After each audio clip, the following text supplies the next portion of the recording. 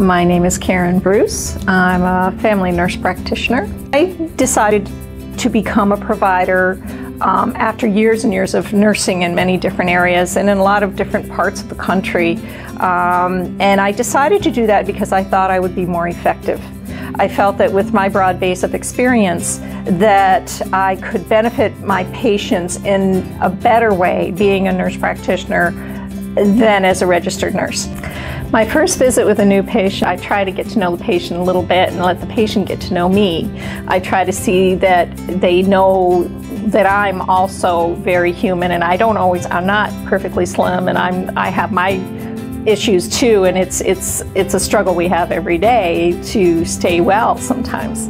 And I try to, the very first visit, I try to get into that a little bit. I want people to know that I care about them. I think that the basis of all of my interactions with patients is that they need to know that I care.